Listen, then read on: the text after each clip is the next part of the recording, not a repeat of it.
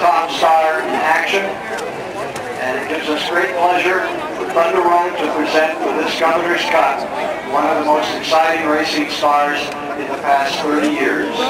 Would you welcome, please, the two-time national champion, the current number one driver in the nation as he squares off for New Hampshire on Sunday. Ladies and gentlemen,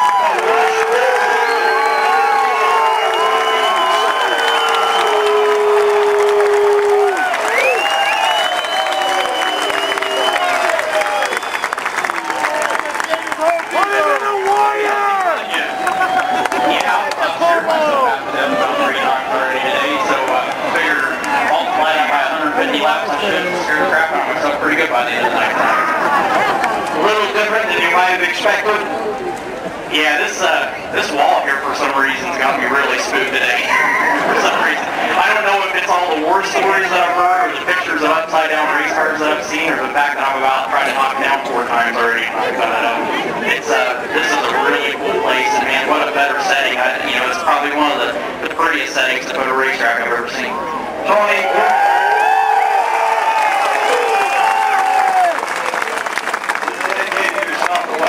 years of racing even after this game. Yeah, you weren't supposed to say that. Don't tell how old I. But, um, Well, no, you've got permanent ladies now and everything. I thought that was all those days were all over. You worried about your reputation? I, I quit worrying about my reputation when I tried to punch the photographer that day. now all ten of them in the front row here are all scared now. You got them worried, let me tell you. When you, you've done a great job with Eldora, when you come to a place like Thunder Road, as far as we're concerned, the real spirit of American stock car racing, as much as we love to see you run the super speedways, do what you're doing. The real spirit of this sport are on short tracks like this all over the country. Your thoughts? No, I agree. I agree 100%. And, and it's, you know, people like you guys that come here every week and support the facilities here and, and support your local racetracks. You never know which one of these guys in the line here is going to be the next Jeff Gordon or Jimmie Johnson or Mark Martin or Carl Edwards. I mean, that you, you may have the next, you know, Sprint Cup champion five years down the road standing in this line right here. You guys got to see him first here. So, uh, you know, that's, that's how all these guys got to this level. It's not by, you don't just get a hall pass and all of a sudden become a NASCAR driver. You, you got to work your butt off and, and you know, I was talking to guys today, and you know, two of these guys I talked to, one guy put a, a pier in today for three hours or a dock in, and another guy was working on concrete and then came to the racetrack today.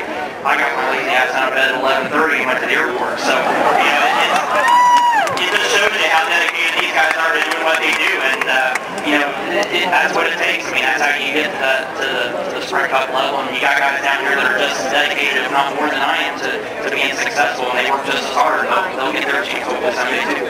Well, I know a lot of people here would love to see you come back again again and again and again because of the kind racing you do and the kind of spirit you give it.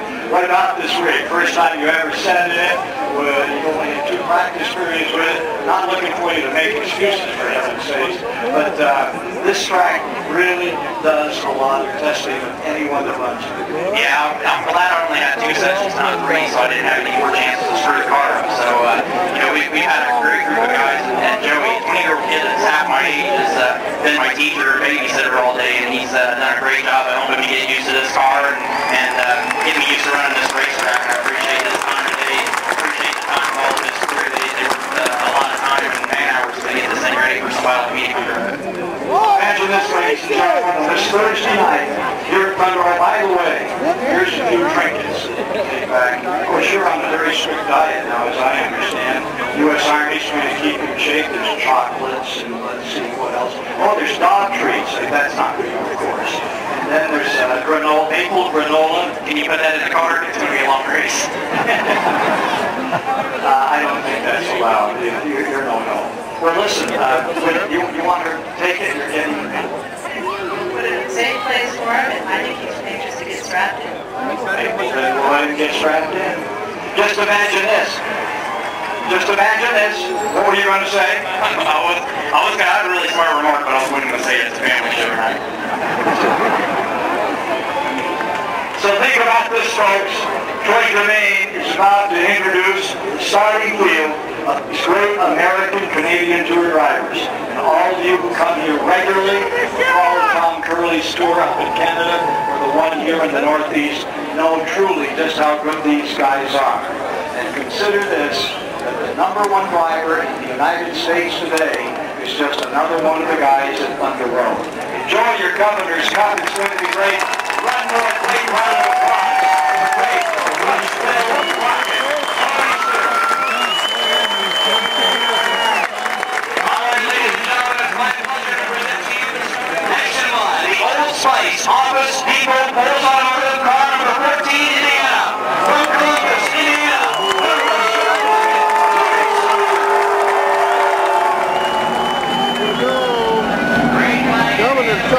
good thing. What Tony's doing in there.